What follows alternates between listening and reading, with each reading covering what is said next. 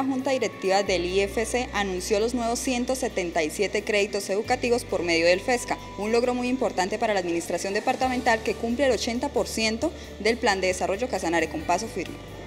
A nombre del señor gobernador de Casanare, eh, decirles eh, que el Fondo de Educación Superior reactiva en este momento sus créditos educativos, la colocación de ellos. Para eso fue creado y en este momento iniciamos eh, dentro de esta nueva administración eh, pues el otorgamiento de los libros.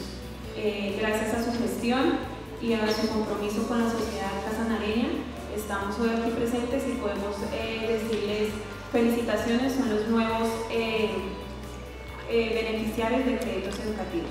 Es decir, que el esfuerzo que se está haciendo por colocar estos créditos, la gestión que ha hecho el señor gobernador y la responsabilidad que tiene con el departamento es muy grande pero el compromiso social y moral que tiene él es el que nos ha llevado a que hagamos estos esfuerzos y esta gestión de colocar en ustedes estos recursos. Hemos colocado más de 4 mil millones de pesos.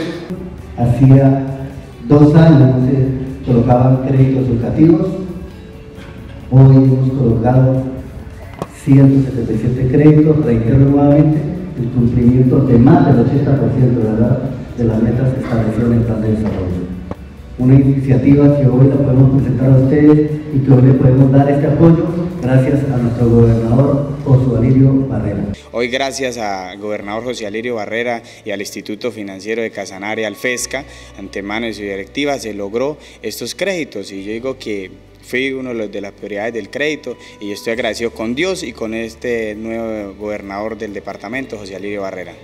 De esta forma se reactiva la cartera del Fondo de Educación Superior del Departamento de Casanare, dándole la bienvenida a los nuevos 177 profesionales del Departamento de Casanare.